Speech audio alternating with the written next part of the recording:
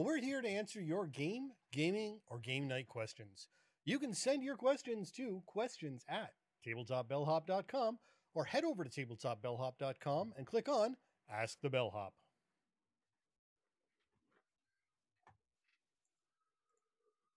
Social media works too. We are everywhere as Tabletop Bellhop, one word. Now, the best way for questions to come to us is through the website. We're not going to say no to a question asked anywhere.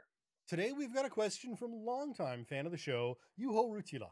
Hi, Moe and Sean. I think this situation comes up every in every gamer's life. The board game shelf is full, and significant others starts to hint that you can make space on the shelf by selling some of the hard collected games. How do you go choosing the games to let go?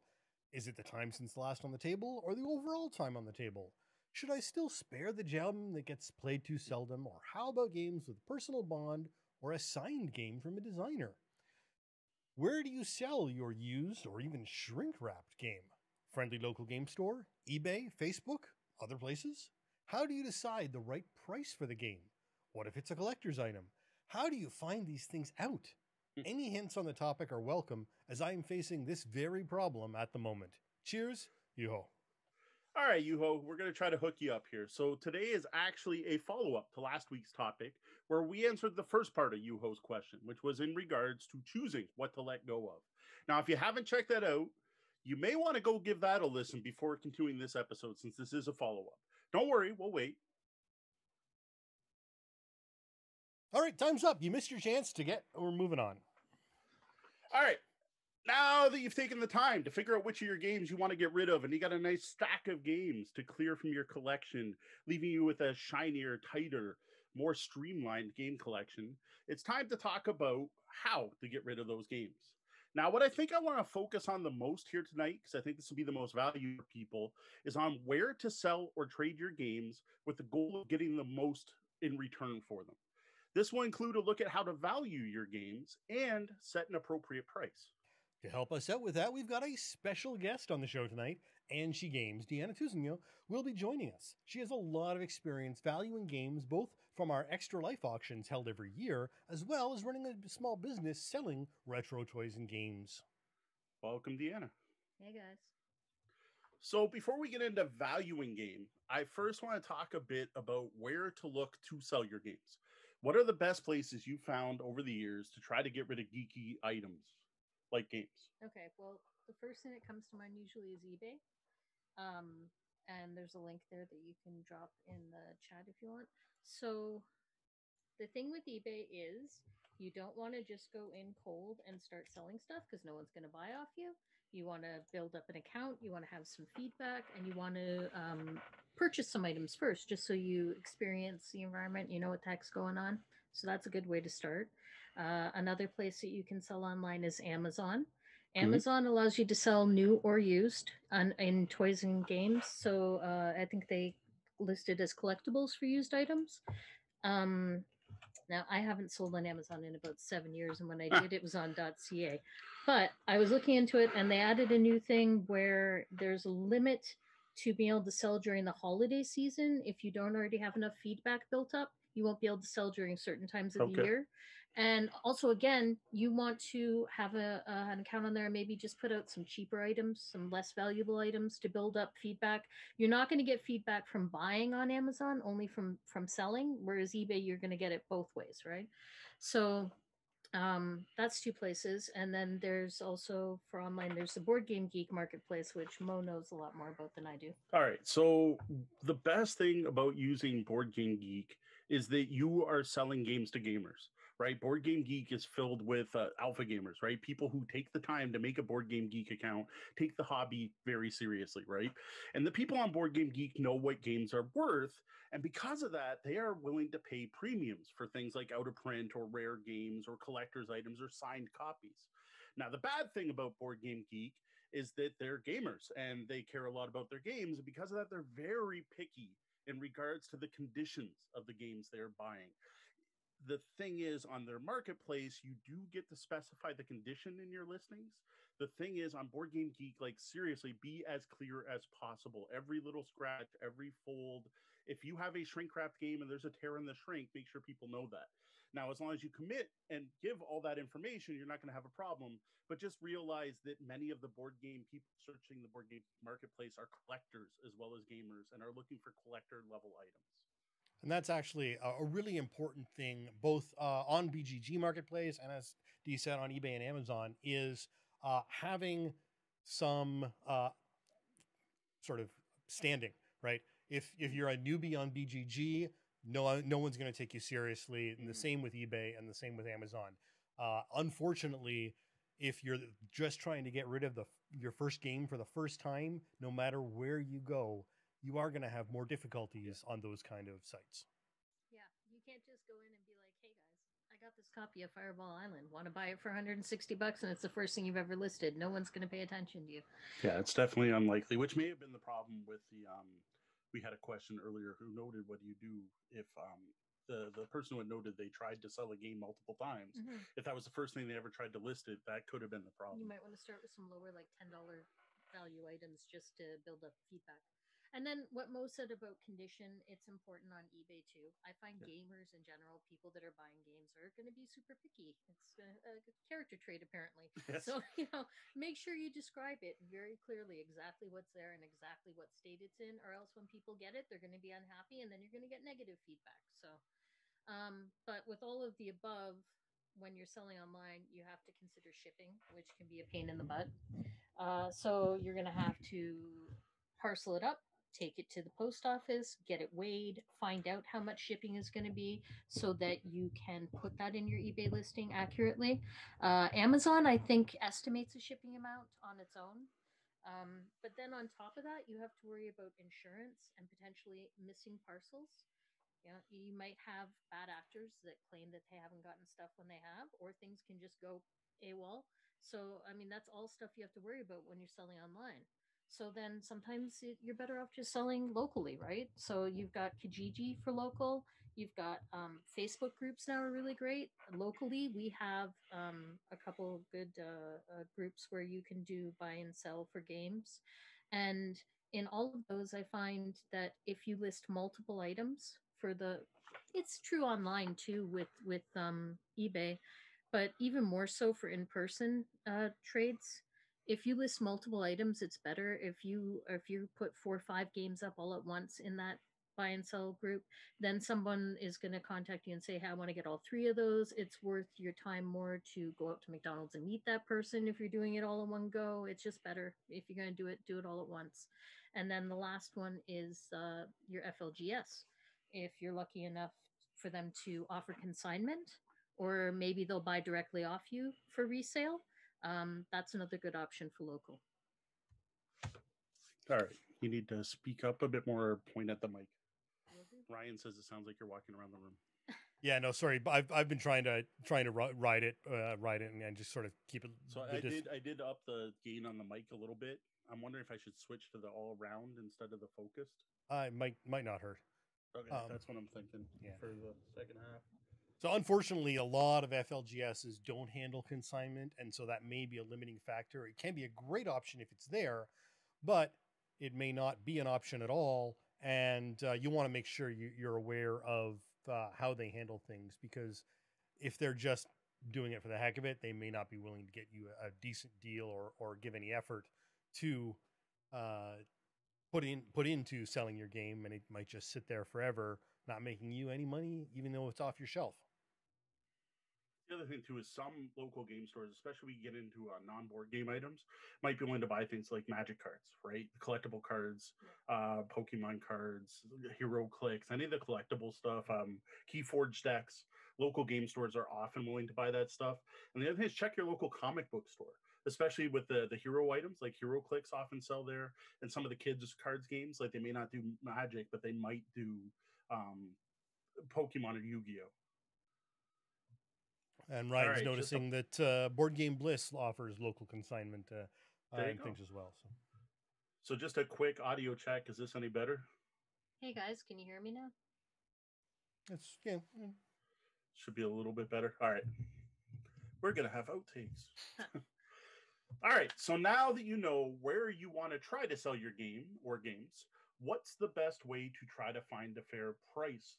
What where do you list them at? How do you how do you have any idea how much to ask for these games? Because I'll say one thing you don't see is it almost never works where you just go make me an offer. It seems like as a seller, you pretty much have to put that out first. Well, again, the first thing you want to consider is what condition is it in. Your used game is not going to be worth uh, a new and sealed copy that's still in print, right? Is it is it available? Is it still in print? Can you go out and easily buy a new copy? Um, now you can figure out the MSRP on a game by looking at a site like boardgameprices.com, which aggregates pricing from several online stores. And you can click through and look at a couple different online stores, and then you can go, oh, okay, so I know the MSRP on that's $50. And about half of MSRP is a good rule of thumb for a used game, unless it's out of print or rare even if it's new and sealed, no one's going to want to pay full retail again, unless it's out of print, right? So you got to plan to knock at least five or ten dollars off the price from the MSRP, even for a brand new game. Now, when you're trying to figure out prices for stuff that might be out of print, the first thing to keep in mind is Amazon is not a good source for that information because third party sellers can just put whatever crackadoodle idea they have, they can say, "Oh, I've decided that this game is three hundred dollars," and it doesn't mean that it's selling for that much. It just means that someone decided to list it for that much. Yep. And the same can hold true at eBay as well, which is why I'll get to that in a second. But Amazon is particularly bad for just having wacky prices. So just ignore that for trying to sell, for trying to set uh, what dollar value you want to use. And then you can look at eBay again, this is your prime area to look for uh, out of print items or new and old, rare, whatever. What you do is you go in and you look at sold items on eBay. Um, you go into the left hand sidebar, you scroll down until it says show only, and you check off completed items. And that will give you the data on what was sold and unsold. Don't check off sold items. That'll only show you what was completed and sold. You want to see both so you get a good idea. And that info will go back for 60 days worth. Now, there are sites out there that will let you see the historic data for more than 60 days. And if you have something that's rare that when you're looking it up, you're not finding enough examples to get a good idea, it might be worth it. Um, but most of those you have to pay for to use hmm. those sites. Uh, a third party example is WorthPoint, and I think there's a free seven day trial you can use, so that might be enough to get you by. Or eBay has an in house program now called Terapeak, which is available for free if you have a store with them for certain levels of sellers. Um, so basically, you scroll through, you look at the completed items, you get an idea of the average selling price, and again, you have to make sure it's in similar condition to yours. Your well worn copy of the Dark Tower, which is missing all but one flag, is not hmm. going to be worth the same amount as a pristine copy with all the pieces, right? All right. So, looking at the Board Game Geek Marketplace, this is another place that besides being a place to sell games, is a great place to see the current going marketplace, the current market price. Because as I mentioned earlier, the people on Board Game Geek know what games are worth and are usually willing to pay for those games. So this makes it a great place to shop for the prices that gamers are willing to pay. Now, the marketplace when you go to it's really simple. You just look up the game and you can see the, the the basic marketplace that shows like the top five items. You can click on it and get the detail, and you'll see all the available copies of the game for sale by country, including then if you click through, you can start seeing the uh, the condition and the current selling price. The one uh, problem with this is that there's no history, right? So you can only see what's currently listed up for sale right now and what people are asking for now with no actual indication what's been sold. So you might bring up um whatever Fireball Island and there's seven copies for $400 because everyone just set their price over the person above them and it ends up no one's actually bought a copy for 700 so you don't get that information but generally the board game geek users don't do that. And if you do see it you'll bring it up and you'll see that one price that's usually crazy high and the rest are all pretty much around the same area now, this is where there's a site called Spielboy. If you go to Spielboy, this is a board game pricing utility that's ugly as sin, I will admit, that shows you historical pricing data on games listed in the Board Game Geek micro, marketplace. So that is your best bet. is you find the game on Board Game Geek, you look in the marketplace, and bring it up on Spielboy, and you get all the history to see every copy of that game that's sold on the Board Game Geek marketplace since the beginning of time. And that is probably your best bet for finding a price. Because again, most of the people on Board Game Geek know the values of the games, or if they, they're the, honestly the people who are probably setting the values of the games. They're the ones setting the current market price. Now, one thing you do need to be aware of, uh, if you're if you are pricing things on Board Game Geek, these are gamers. These are not real people. um, so if you're going to be selling to your local Kijiji market, there may only be a couple of gamers in the area who Yeah. are willing to pay gamer prices. Uh, your average Joe on the street is probably not going to be willing to pay collectors' prices, even if that's what the game may be worth to collectors. So you have to be aware that your marketplace where you're selling may, you know, determine some of that pricing, even if you Mhm. know that that you know sealed box uh, wow is, should be worth three hundred dollars. Joe down the street isn't going to pay that. Yeah, we've definitely seen that uh, with something we'll be getting to later with is one of the alternatives for selling games, which is to auction them, where we will have a three hundred dollar game go for like twenty bucks because just no one cares that it's a collectible game. They're just like, hey, I spent twenty bucks, I got a cool game. If no one wants it locally, it doesn't matter. Yeah, and that's not even locally, right? Like that's part of the problem with all of this is it is a free market, and fair market value is going to be based on supply and demand. If there's a ton of people selling the same game as you right now, you're probably not going to get good money for it. Whereas if there's very few copies, there's a better chance you can charge a bit more. But I strongly feel that it can be worth um, making less money and selling it locally because there's that pain in the butt factor. Yeah. Because you can get the best dollar by by selling it on eBay, maybe, but it's going to take up the most time going back and forth and email answering questions. You have to pack it up. You have to take it to the post office. You got to worry about those missing parcels. And so when you're building your price locally, you can tell yourself, okay, I'm going to go a little bit lower than that. Also, eBay's going to take off a, a chunk of Yeah. commission. Uh, PayPal's going to take off a chunk of commission. You sell it to a guy on Kijiji and they go give you 50 bucks at uh, McDonald's. Nobody's taking a percent off that. So Mhm. you, you got to factor that in too, right? So, um, back to when you're coming up with your prices, uh, some items have straight up uh, price guides when you're thinking of magic cards, collectible cards. Uh, the site that at least the local stores use is tcgplayer.com. So that covers like your Pokemon, Magic, pretty much any CCG you can think of. They use the median prices on there when determining what they might pay you if you're going to go in and sell cards. Yeah, from what I understand, that's pretty much the standard, at least in Canada. I don't know if this is true in the States, but at least for Canada, that is the site that everyone uses. And they do that so that they don't have to compete with each other. Like honestly, if the, the we have two local game stores that are, are I don't know about ten steps away from each other, which is a little ridiculous, and they both use the same pricing guide. So you go to the store you prefer. You're not going to get a better deal at one than the other in general. So again, that that factor that it might be more convenient for you to sell locally means you you might pick a price that you're willing to settle for a little bit less. But then when you go to list that on Kijiji or Facebook, you're probably going to want to put a little padding there because people are going to want to barter you down. You're going to say I want $50 for this item and they're going to say 40 every time. Yeah, Facebook is terrible. Right. For that. No one's just going to say, okay, cool, 50 bucks. Like that almost never happens. So if you know you really want $40 for the game, ask for 45 or 50. Be prepared to haggle. Again, you're likely listing a bunch of items at once, and someone will say, hey, if I buy 40 Mhm. off, uh, if I buy these four items off you, will you give all of them to me for $100? And you can say no too. Like, don't be afraid to say That's a good no point. and to barter back and to say, yeah, the lowest I'm willing to go is X and have that lowest price already in your mind. Um, and then back online on eBay, it's a little bit different. If you're setting the opening bid on eBay, you might want to take a chance and go a little bit lower than the minimum you want because you're hoping to bid build interest and that folks will bid it up.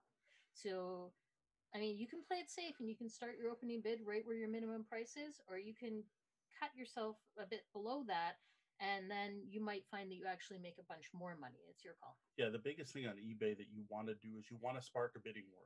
You want two people to want that item, and then they start going against each other, and then they stop looking at other items and comparing prices anymore, and only care about beating that other person. That that's what you're hoping to have happen which can happen by starting. if it's low enough. If your Yeah. price is just right, people will probably just snipe it. Yeah. Right? They'll just come in and bid at the very last second and the, they'll be willing to spend 20 bucks on it, whatever. But if you know it's worth 20 or $30 and then instead you set it for 12, well, you might get that that added interest. But you're taking a chance. It doesn't Yeah. always pay off. Yeah, and one of the things you need to to pay attention of, and and you touched on this earlier about you know condition of things especially, but when it comes to Kijiji or eBay, there will be people who will pester you to no end about every detail and aspect of that product. They want to know if hey, can you, you you didn't take a picture of this particular angle, and I saw a, a a version of that product once that had a little bit of flashing on it, and does yours have that or not? And be aware that there is a uh, element of time that you need to sort of put aside to deal with people like this, um, unless you're willing to just sort of shut them down and, and completely ignore that avenue of sale. But there are a lot of people out there, both on EG, uh, eBay and, and Market, who will want to come, or you know, if it's local, uh, can we come by and look at that? I want to double Mhm. check and see if that's really this and that. And you know, there's a whole lot of hassle involved. Um, you, it's it's mu- much like running a, a yard sale, right? There's all these people who Mhm. want to waste your time without necessarily even ever planning to buy the item. And that's probably one that, that this this is intentionally not on our list. You do not want to sell your stuff at a yard sale unless you're just like getting rid of it. Like you don't care. Like it, it- instead of throwing it out, maybe If it was But- in the flood, then you can put it in the you yard can put sale. it in the yard sale. Like, like we've tried it, right? Like I tried to sell collectibles at a yard sale, and we can kind of get away with it if you have like the one table of collectibles. But even then, people are gonna walk up to your fifty dollar item and go, "I'll give you a nickel." Like it's that bad. And you got to keep an eye on it because if it's new and sealed, they'll try and open it. I've Yes. had that happen at yard sales. I Yeah. I just about Yeah. passed out. I'm like, get your hands off that. And people like to walk away with the collectible items Well, because you highlighted them as collectible, which is Yep. unfortunate. So yeah, we do not recommend selling anything you actually want to get something value for, not at yard sales. If you got some junk to get rid of, sure. All right, so so far tonight we talked about selling your unwanted games, but there are other options.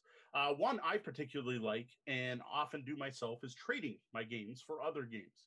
Now, this is a great way to both grow and curate your collection while trying to keep the overall size down.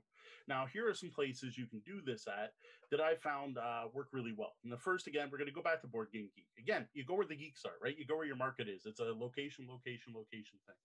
Uh, we've already talked about this as a great place to figure out the value of your games, but it's all as a, also an option for selling. But one of the other features is you can go into your board game collection or into any game, whether it's marked as you own it or not. But you can go through their entire collection, the entire database, and just click for trade on anything you own that you're willing to trade with. And similarly, you can go in and go want in trade and click on a bunch of different games. And then from that, you can go to a game and click who wants games and trade. So if you have a game to get rid of, go on Board Game Geek, find that game, click on want and trade, and there is a list of people who want to trade you something for that game. Now, meshing those two up is a bit of an artwork, but it is a way to find people who are looking for your game. And sometimes those people might even be willing to buy it, right? So this might also be a way to find sell someone who's just going to buy it outright. Now, another interesting feature, now this is something we hadn't really talked on earlier in the episode, is instead of selling a whole game, but selling a game for bits, right? Selling parts. And this is a great way to get rid of components you have from incomplete games. Like if you got a copy of Hero Quest, it's worth a fortune. But if you just happen to have the doors from Hero Quest, those can be worth some money. So if you go on Board Game Geek, there are two more things you can click off. And one is has parts and the other is wants parts. So this is a great way to get rid of those leftover bits. So if you did have the flood, instead of throwing out the whole game, separate what's damaged from what's not, and then you can go on Board Game Geek and look and see if anyone wants the parts from those games.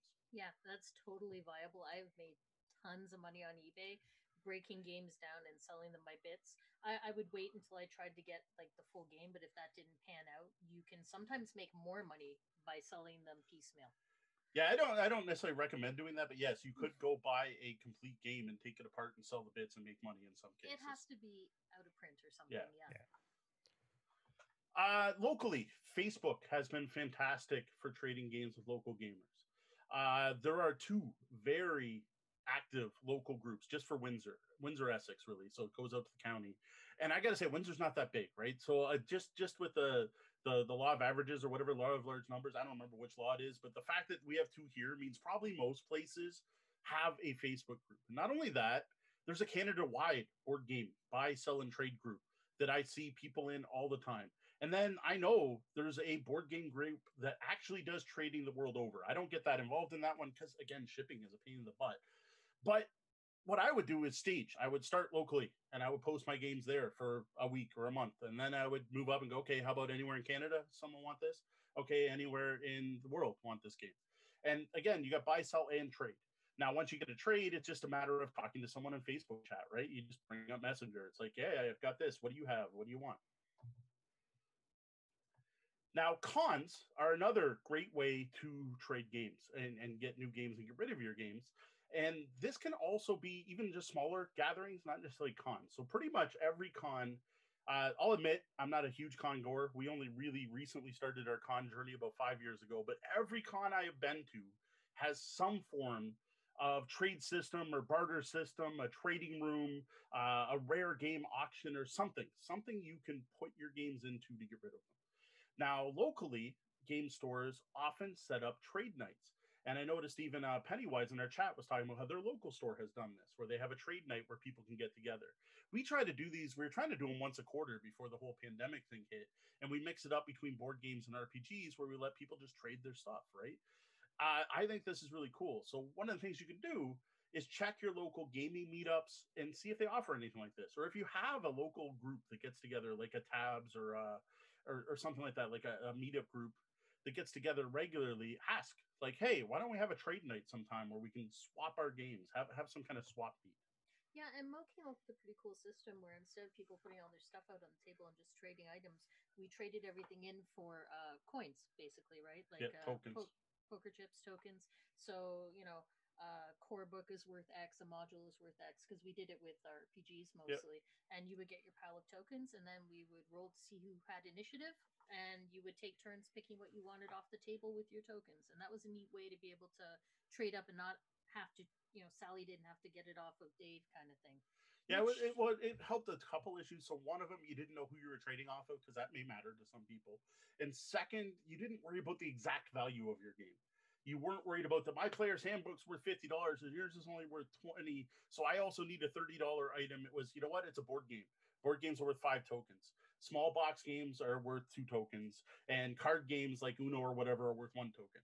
And you spend five tokens, you could get five card games, or you spend five tokens, you get a board game. A board game's a board game. Say like a ticket to ride size box. Maybe you have the or ten token Eclipse phase or uh, Eclipse or Twilight Imperium level or whatever. And like RPGs, it was it was um splat book module core book was basically how we split it up. And so we didn't have to worry about the fact that the Pathfinder book's 900 pages long and the well, we'll actually use Eclipse Phase this time is only 300 pages and their MSRPs are actually quite far apart. It was here's one hardcover rule book for another hardcover rule book. Worked out well. Now, speaking of cons and get togethers and trading, one of the things that is the best, and I guess it, it, probably the most efficient way to get rid of games, replacing them with games you want, is a math trade. Now, this is uh, the basics here is that a group of people decide they all want to trade games and they use a specific piece of software to create a list of all the games they're willing to trade away. And you just go in and you select them all, and it's tied to Board Game Geek. So you go in and you pick all the games you want to get rid of. You're like, here, here's all the stuff I'm willing to get rid of. And then once everyone's done that, there's like a certain time period for everyone to put in their games. Then everyone gets the list, and now it's a list of everything that everyone's put in the pile. We'll say, and you start going through, and you're like, "Ooh, I want that, and I want that, and I want that, and I want that." And then there's an extra step where you go, "Well, you wanted this. What are you willing to trade for that?"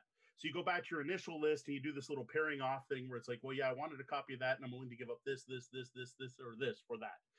And then you sit back and relax while everyone else does that. And then the moderator, whoever's running it, runs the software. Now, I honestly have no idea what goes into this back end. It's it's math doing stuff in the background. But the end result is that you end up trading your stuff. So once the software does all its stuff, it's going to set up a ton of trades and the interesting part is it'll be with a bunch of different people so that everyone gets stuff they want So, like for example, I might trade something to Deanna, but end up getting something from Dave. Whereas Deanna is actually getting two things from Sean, and Dave's getting something from Tom. But like it all works. Like the, the software did the thing. I just I give up the games I want and I get the games I wanted in return. It's the more complex version of the token system. In in a way, yes. Yeah. Yeah. It's, it's the, where the where the tokens were a little more arbitrary in the math trade system. There there's real values applied. To, yeah, there's real value because you can literally say like I only want this game if I give up this for it. Mhm. But the weird part is I might not get this game for that directly, right? That's where the math trade comes in. Like Sean may have actually gotten this, and and Sean might have given up three games to get that, but I end up getting something. Like it's it's it's funky. It's it's I've finally done one. I've now taken part. We only had about twelve people, so there wasn't a lot. But like you know what, I got rid of three games, and I got two games I really wanted. And, and like I said, it's you get what you want. Like you you you have complete control over what you let go and what you get in return without any bartering. There's no interaction with these people, which is, I gotta say, at times an added bonus. Absolutely. And, and sometimes that can be that can be the, the real thing because you're avoiding as long as you're upfront and and and clear about everything, Yes. you're avoiding a lot of that haggling hassle Mhm. that you you run into on your Kijijis and your eBays and your Facebook. People aren't haggling over prices. They aren't questioning about every little detail. It's Mhm. just they're looking for what they want. You're looking for what you want, and the software does the rest. You don't Yeah. have to. It doesn't matter whether Jane and Bob are idiots or Yeah. you know whatever. It doesn't matter. They're going to get what they want. You're going to get what you want within the limits of the software. Now, the one thing I don't know about math trades is what you do when something goes wrong. Like, I honestly have no idea. So I, I like it. I say I got a game and it was missing a piece. Like, I don't even know whose game it was. So I don't know how that level of it works. You you would have to talk to like Hugh ran and I'd have to be Mhm. like Hugh. This copy of this I got has no. So there's definitely an upfront level of trust required for people to have described the games to uh in detail, right? So it goes back to being honest about what you have. Like that's the other thing, right? Like like be human, be nice. Don't try to rip people off. Like even when you're setting your prices, don't try to scam people. Don't this is this is like kind of off topic but on topic. Don't say something's out of print that's not. Like check, make sure it's actually out of print. Don't claim something's uh, you know, whatever signed or it's a first printing when it's not. Like don't scam people. Just just be honest about the actual condition. Don't try to tape something together because they won't notice. Don't glue if you glue something back together, you indicate that too. Because glue bonds are usually not as strong as the original bond, even though it might look like it's in perfect shape. Just be honest. Yeah. Replacing components with second edition bits. Yes. Not cool. Yeah, if if you got replacement components, that's not cool. Yeah, no. And then once once you've decided to to make something happen, there's you're still not done, right? So if it's one thing if you're able to walk down to the uh, post office and throw it in there, uh, and then you have to deal with tracking and making sure that something gets there and dealing with insurance and if something gets lost, what happens?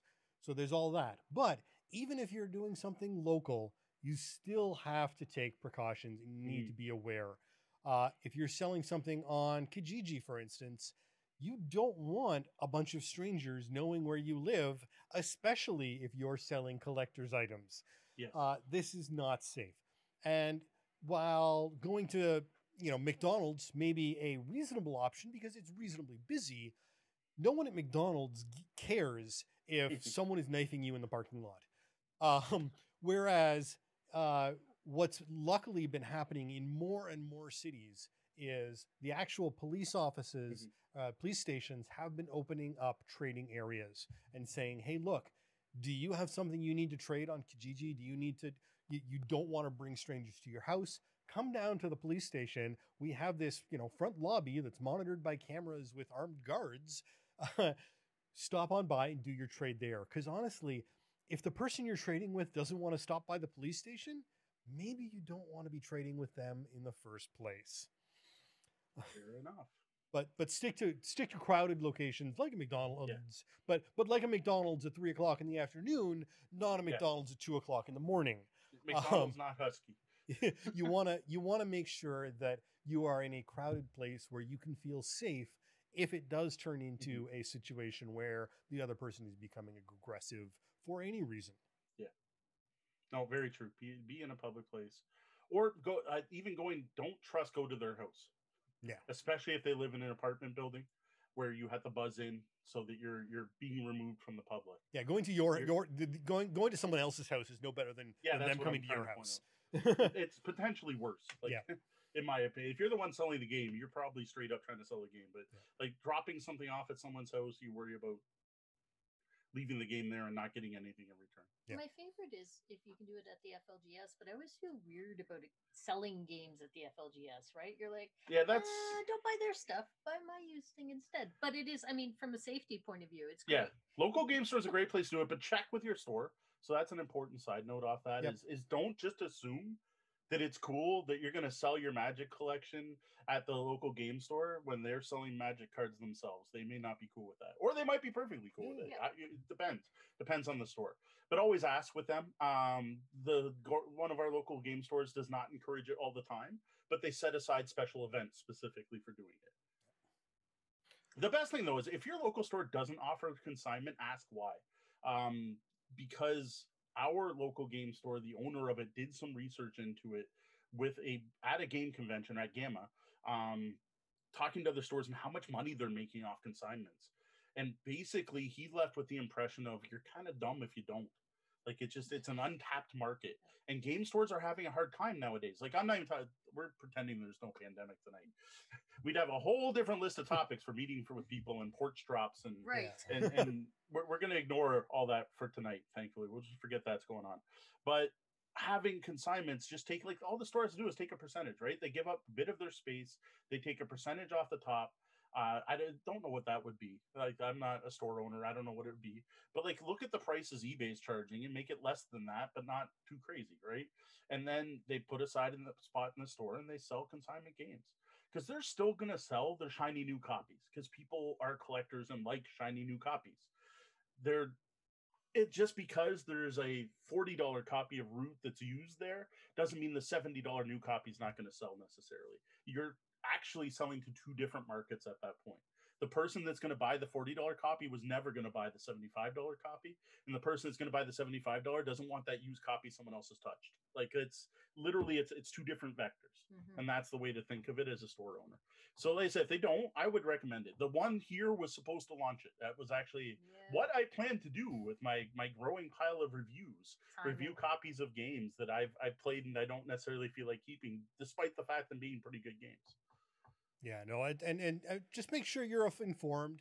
Uh, in the chat room, they are talking about you know again if you're doing a math trade, make sure you read the fine print. You want to know what you're getting into. If you are going with consignment somewhere, make sure up front you know who's setting the price, what Mhm. the percentages are, when payment is going to be due. Are they going to be paying you up front and they're going to handle the rest of it, or are you not going to see a dime until they sell it? Uh, you know that Yeah. they're holding on to that material and you need to make sure that you know when it's getting sold Yeah. um, and, and and how much how long after it gets sold will you be paid I'm going to hop back for one. I mentioned about like using eBay as a source to set your price. But if you go on eBay and you decide, hey, it regularly sells on eBay for like $120 US and I'm going to sell it locally for $90 Canadian, use that as a selling point. Tell Yeah, people tell that in your people. listing when you put it up. Yeah, if you if you've done the research, let people know. Like, hey, the, I, I- we do this constantly for our extra life auctions. We're like, all right, currently going on eBay for this much, right? Currently selling on Amazon this much. yep no absolutely All right, so we talked about selling games, we talked about trading games, but there are alternatives to both of these options when you don't necessarily want or need to get anything in return, and that's donating your games to a good cause. Yeah, you can donate your unwanted games to a local school. Like grade schools would love to have games, even high schools or a library. Um, or you could give them to your local FLGS or Game Cafe for their uh, in store library. And that has the added bonus of if it's just a space issue, maybe you know you can still go there and play it. absolutely Uh, you can also just give your games direct to local gamers, right? If you're, we talked about how you're doing your one and done, right? So one of the topics we talked about last week was before you get rid of a game that's been sitting on your shelf forever and you haven't played it forever, give it one more play. If you play that one more play and there's four of you playing, and you're like, eh, yeah, I don't need to keep this. But one of the other players, like, damn, I really like this game. Just give it to him. Here you go. Have this game. We're done with it. We've had enough. You seem to have fun with it. Or people who are just starting off in the hobby or just getting into their collections. I do a lot of public play events where I get new gamers out, and like, I wish I had a couple extra copies of Gokuko around. Like, it's a cheap enough game that like some people get so hyped. I'd be, I'd love to be able to be like, here, just take a copy, go home, right? Like. The, or even in all these Facebook groups and stuff like that, right? Like just the whole um play it forward kind of thing. Like put it up for sale and you don't get anyone for a while, and then someone gets a hold of you finally, and they're like, "Oh, I'm really excited about this." So you're like, "You know what? I've had that up for a month. You can just have it, right?" It's gonna go to, especially if someone's excited, right? Because to me, that's a good thing to do because the person's going, it's going to a gamer. They're gonna play the game. Yep. Now, another option is to donate them to a charity. Um, there's the Salvation Army, there's May Court, there's um, Goodwill, and all that. Uh, for one thing, you're going to end up making someone really happy when they ha- take a picture of it and share it on Facebook to their Goodwill find. Um, other than that, like that's generally not what I would do, but it is an option. To me, that's better than throwing it out. Probably better than throwing it in a yard sale and getting a buck. Yeah. Like you might as well drop it off at you know your Value Village or whatever your local uh, charity or resale shop is. Or you can upcycle it and turn it into something else because uh, that was one of the suggestions last week when we were Yep. talking about purging games. Someone in the chat room has suggested turning it into wall art, which is a very cool idea. Yep. Or we have locally extra life auctions. You might have something similar local to you, and that's a really cool way to get rid of your games and know that it's going to a good cause. And and still staying local probably, and going to be out maybe at public play events and in the community. So you know it's cool we have a lot of generous local gamers that will Yeah. donate items every year for extra life and we raise thousands of dollars that way so it's pretty cool And yeah, uh, another, anyone who d- all right, another great comment in the uh, chat room is donate to uh, local gamer design club if there is one, uh, so that they can use those parts in turn Mhm. them into the next great board game. no, That's it makes perfect cool sense. idea Yeah, and for those who don't know what Extra Life is, it's a 24 hour gaming charity that raises money for the Children's Miracle Network hospitals. Uh, the goal is to game for 24 hours. It's uh, always around November every year. Gamers the world over take participate. It's something we participated in for uh, 10 years now, I think. I don't even know, it might be 11. And we've raised like over $15,000 US doing that. And a big part of that are Extra Life auctions which does lead me to auctions in general. This is something you can do. I've seen people do them online. I've seen people do them in Facebook. I've seen people do them at local events. You can also auction off your game. Now, what's cool about auctions is you get that bidding war, right? You get that chance that you're like, hey, you know what? I got a copy of Root. It's 20 bucks. Anyone want it? And then like, yeah, I'll buy it for 20. Oh, I want 25, I want 30, and it keeps going up and it ends up you can make some really good money off it. Now, again, if you're to do this at local game store, make sure you ask. This was something else that our local game store was hoping to do more often during the year than they do now. And plus, we ran one for Geektropolis. We did. Um, unfortunately, because a gamer had passed away and we were getting rid of his game collection, that managed to raise enough money to basically open a game store. And auctions can be a great way to get great money for your stuff or sell it all dirt cheap. So you really got to watch it with auctions. It depends on your crowd. If your crowd's uh, got some big spenders in it, you'll do awesome. But a lot of people go to auctions to look for deals. So to me, they're very hit and miss, and they are very stressful and a lot of work. Like I think more so than having to deal with the idiot on eBay that you've been talking to a million times, and you ship him the package and he says he didn't get it, and like that's simple compared to managing an auction. yeah and then you use all this information to set your prices your opening prices for your auction and you give them all that info on what's missing what's in the box all that stuff. You be upfront about it. You don't want people handing it back to you next week. Yep. Yeah, no, the auctions the auctions are tough, uh, and especially depends on the crowd you you get to your auction. There, there, there are 2 Mhm. different kinds of charity auctions, uh, and I've experienced both in in various uh, formats. Um, I mean, if you go to you know a big name charity auction where the point of the event is the charity, then you get People people oftentimes who are there to spend money. They come. It's much like a casino in that way, right? They are coming there with five hundred dollars, and they are going to leave with zero dollars, and that is the goal. They Mhm. may leave with something as, as well, but they are there to spend money for the charity and give to the to the Mhm. you know the charity and the and the cause. Uh, whereas in a lot of these other auctions, you know, in, in some of the things like sometimes Extra Life, uh, you've got gamers there who are there to play games and look for deals Mhm. and they don't have $500 to spare they have you know forty dollars that they'd really like to stretch out and and get Yeah. the most for. It's And- it's forty dollars for their whole entire weekend. That's got to cover food, gaming, and coffee. Right. Right. And so My- so they're looking for the deal. Yeah, I was gonna say my tip for running is to try and have that mix of the rare high value items and the bottom dollar deals, so that you know you can get a good mix. And Yeah, like we'll we'll, we'll toss in like gamer keychains and Pokemon and things like that, Yeah. and Yep. uh, promo cards and like you know five dollar items. So for the people that don't have much money, and I can say, all right, we usually get both. We'll get people there with uh, the money in their pocket they're there to spend, and we'll get the people there that who didn't show up with any money, even though it's a charity event. Yeah. And, and you really have to sort of balance it and, and hope that you get enough of the people who have the money to spend to make Mhm. the the a massive amount of time and effort you've put into the pricing and Yeah. the, the the labeling and, and the organizing of it um you know worthwhile for the charity because you're not getting anything out of it it's yeah, like if it's donated, you, you are donating your time as well. Yeah. running a charity auction is a topic in and of itself. Yeah, true. Yeah, Hey, if anyone wants to hear us cover running a charity auction, send your questions to questions at tabletopbellhop.com. We'll throw it on the list.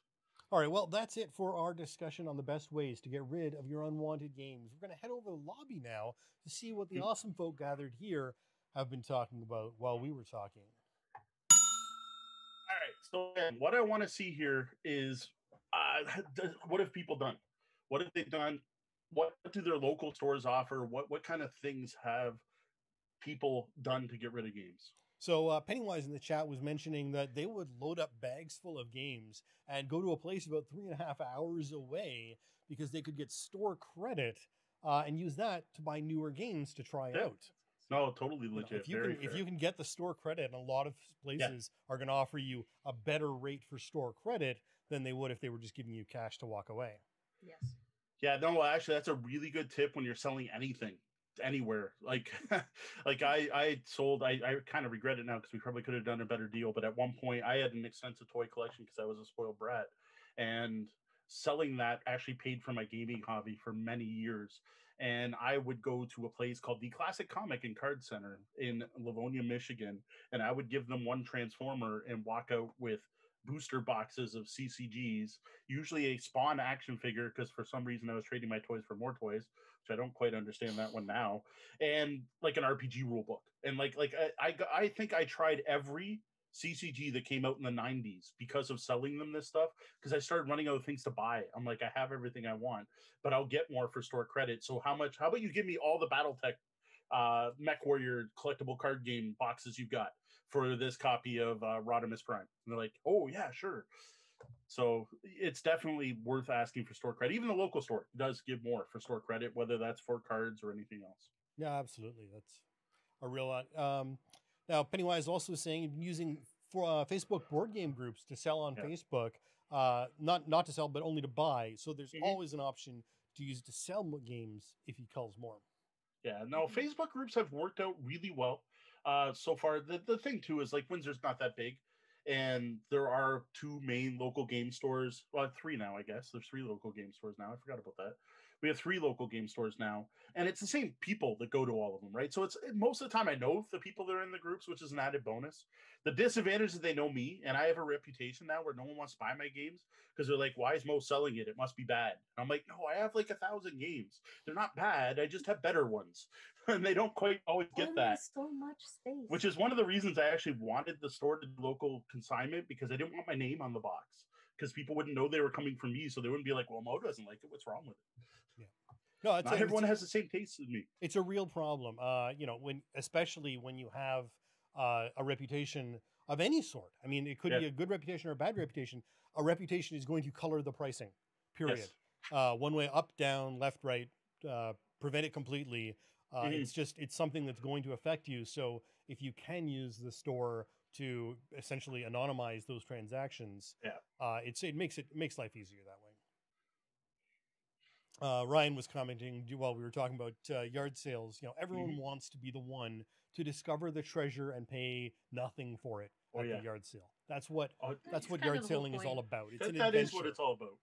Uh, so so I said I will admit, if you are going to try a yard sale, you can get away by having one table, we'll say, of highly priced items. That people seem to tolerate. You'll still get some people in your face about even doing that, but you can tend to get away with that. But don't mix it in with everything else, and don't try to only sell collectibles. and watch it. Watch yes, it like a hawk. yes. Put put that your cat make that your cash box. Well, the table other thing sort too is like we, we were selling collectible toys at the time. Parents letting their kids play with everything. We're like, no, that's a three hundred dollar transformer. Don't let your six year old put it in their mouth. yeah, Yeah. Yeah. No, There's I there, there's a lot of problems with yard sales. Yeah, they, our overall suggestion is don't. to be honest, Yeah. like unless you don't care. Like I said, instead of throwing it in the trash, you had that flood. You got that hungry, hungry hippos with no You marbles left. literally want two dollars a game, and that's better than nothing. And Yeah. there If you you, go. if you get to that point, Yeah. feel free. Even Uh, then, though, I'd almost say donate. I know because Yeah, the the only my only caveat with donating would be do pay attention to the charities. Uh, you know, charities have different uh ways of of doing business, and they those may or may not uh coincide with how your your feelings on things. Yeah. So just make sure you know what's Yeah, happening and who's who's being benefited and and all that. Uh, you know, before you you pick where you want those games to go to. Yeah. Uh, the library is safe, but uh, you know, if if there's a a storefront run by some organization, do your you know do your due diligence to make sure you're okay with that. Find out where the money goes. Yeah. Find out what they support. Uh, Ryan support. Ryan has now uh, participated in first and second math trades in the Oh, past nice. week, so he's No, I uh, say, he's math trades are definitely worth it. Um, so one of the things I did notice he mentioned, I don't think I see is here, is there are two types. So there are ship math trades and no ship math trades. You generally want to do the no ship because you have no clue where you're gonna send this stuff. That's the thing with a math trade. You you were like, I got six games from one person, so I only have to ship to one person. No, your six games are going to six different people, right? Like mm-hmm. that's how part of how math trades work. yeah, I and, and sh- actually and there's nothing good about shipping. Yes, there is shipping nothing is just good pain. about shipping. I actually worked at a library for years, and I have feelings about library donations because they don't necessarily always go where you intend them to go. So I feel like if you really want your board games to be at that library, maybe talk to a librarian or someone that works there. Don't just drop off a giant box and assume they're going to keep them. They may just go home with staff or in, end up in the rummage sale. And if Yep. that's going to hurt your heart, don't do it. Yep. No, absolutely. That that's a valid. Yeah, you, whatever you're doing, you don't necessarily just want to show up randomly with a box of stuff. Yeah. Uh, w- w- no matter who you're giving it away to, even if it's Mhm. even if you're donating it to the local grade school, and you think, oh, they're gonna love this. Well, call them and check first, um, because maybe there's some reason they can't. Maybe you know there are all sorts of strange rules and regulations, even in non-pandemic times. So if you're going to donate something, uh, you know, unless they unless they've got a big sign up saying drop your stuff here, big call. All right, we got a bunch more stuff for Ryan. You want to just fire through these? Sure, Ryan. Ryan had a, a list of stuff that he's been uh, yeah, which is of, pretty of awesome. different things he's done. So he's given boxes of games to family to get them into the hobby, Yeah, which is awesome. Think you know again that's the, the pass it pass it on, pass it forward, extend the Mhm. hobby. Uh, ship box of games to a game store for credit. Again, we know store Now- credit hard to beat. I uh, know Cool Stuff Inc. actually in the U.S. buys games and cards where you just mail them to them and then they give you store credit, and they are some of the best prices online for shopping. We have uh, one of the local gamers, Will Chamberlain's, usually in the chat. He's not in there tonight. Uh, that's how he pays for his board game hobby. Was he got rid of his Magic collection to Cool Stuff, and he had a significant enough collection that the last time I talked to Jamie, he still hasn't paid for a game because he had that much Magic credit.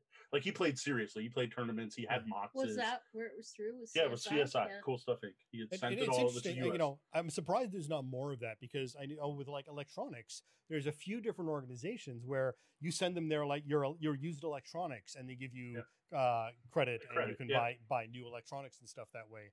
Uh, not so much in Canada, but in the states especially, there's a few different groups um, that were heavily advertising on podcasts for a while, which is how I know about them. Mm-hmm. Uh, and it was just you know they'll send you a they'll send you a, an envelope and you send them your you send it to them like even the shipping was easy on in uh, for that so- sort of stuff Right. uh, he also he sold games in the game market at calgary convention again we Yeah. going to cons. Seem Uh, to have all every convention I've been to had something. Yep, some sort of some sort of little you know tr- Mm-hmm. either either trade or sale or or a way to get things Yeah. uh, again we've he's done a couple of math trades which is Mm-hmm. awesome um, sold games at bring and buy auction at a local convention Yeah. that's a fantastic thing another another great way that conventions can can help out uh, and gave games to the local game society library Yeah, You know? if you've got a local gaming club that has a library, that is a great place to donate. because games. you'll still be able to play it if you want to exactly. but Yeah. so will anybody else who Yeah. wants to, to to get involved there. Uh, it's traded unopened game for unopened games at stores. Great That's a good one to do if you get a gift. Yeah, no, absolutely. You, You get a you know, gift. You know, you know, eight, post-Christmas. eight June thinks that Harry Potter Funko verse is really cute, but you're really into Warhammer 40k. You might be able to turn uh, Voldemort into some Terminators. And he mentions he tried to sell some games on Kijiji without success, though there was some interest. Well, I think Yeah, that's we've- sort of the definition of Kijiji. Yeah, Uh, not much success, but a lot of interest. we we've successfully done it a couple times, but yeah, Kijiji I bought more than I've sold. yeah, I, I've, I've done a couple of uh, purchases on Kijiji, and honestly, they have all felt really dirty and sketchy almost every time. Yeah, I got yeah some of some of the I, I've gotten video game system stuff, so I've gotten Yeah. controllers and retro systems What and and did the, the, the of? for a while I was getting Xbox controllers like that. I I don't know where they came from. Well, I mean, I, I didn't picked up ask. I picked up those games for you. Um, you did that. Yes. you, did that one thing, and it's this house that um seems to probably actually not be occupied as a house, but Well, it's that's- yeah. full of product. Um, and there happen Well, that one games. was legit. that, that that had to do with uh, someone's parent passing Yeah. away, and but but there's a like few that, of those where. I've been to. It's where you you stop by, and I mean, I'm a big guy, so I'm not as careful as I recommend Yeah. other people should be. Uh, but you stop by the house, and it's sort of like, oh, your this this house is just a front for people selling things Mm, that may well have fallen off a truck. yeah, Um, exactly. uh, this no one is living in this domicile. Uh, but uh, yeah, and then he uh, he sold a box of BattleTech CCG cards to someone in the U.S. for the cost of shipping. Yeah, I've done that. Yeah. I bought something uh, like I I shipped that once. I'm like, anyone want this? I'll do. You just got to pay shipping. And I've gotten games that way too. Um, that was back in the G Plus days. That actually was relatively common, but because it was common, more people did it. Right. Right. It was one of those pay it forward things. Although shipping these days is not something you you get. It's only Yeah, works but if the right now. buyer's paying it, Yeah, yeah, but no, but I mean, right, like particularly right now during the, we aren't talking about pandemic generally, but in the pandemic times, shipping Yeah. is ugly. no shipping, Um, thank you. I, I, I although literally, we're I, gonna ship stuff in three weeks. I, uh, I got, I got, I got something for my son's birthday recently, uh, and it shipped in the Cana- from Canada Post from literally 40 minutes down the road. I could have driven there and back and back, probably there and back in under an hour, and it took eight days to get to my house from the time Canada Post picked it up to the time they put it in my mailbox. Eight days. Um, so it's a it's an interesting time we're living in right now. That's and the last thing Ryan notes is Starlight Citadel, which is a store that took games for credit, is closed. I didn't know that. That's a store I know of. Their their prices weren't great for buying, but it was one of the few places you could buy used games online in Canada. Right. All right. I think we're pretty good here. Um, one last note: if you're selling RPGs, another one is half price books. Half price books in the states is great for buying RPGs or in, and box sets and stuff like that. They may or may not buy board games depending on your local store. I've heard both. Most people say they do not do board games because they're too worried about missing components. But books from RPGs, they seem to be more than willing to buy. Oh yeah, I forgot about that. And Abe is Abe a Books. great source for pricing, and you can sell on there too. But it, you have to have a, a large quantity to be able to be selling on there. So Yeah, so Abe Books is an aggregate that aggregates prices from local book uh, from um, independent bookstores Mhm. that um, do used. Sorry, not like no chapters Indigo, but um, used bookstores, and they aggregate. So it's a, especially for RPGs a good way to find prices. They you can sometimes find a board game on there, but I find the board games tend to be no, the board games Ridiculous. are wonky. They shouldn't Yeah, be listed. On like they shouldn't be listed, and they're like three hundred dollars each. RPGs, Right. But yeah, RPGs definitely Abe Books, abe.com, I think. Yep. Excellent. Well, that's it for our main topics tonight. Remember, you can find lots of gaming topics and advice like this over on the blog at bell, tabletopbellhop.com. Just click on gaming advice at the top of the page. We also want to thank Deanna for joining us for this segment of the show and sharing her expertise on the topic. Now, finally, as usual, if you've got a game or game night question for us, all you got to do, go over to the website, click on Ask the Bellhop, or send me an email. Questions at tabletopbellhop.com.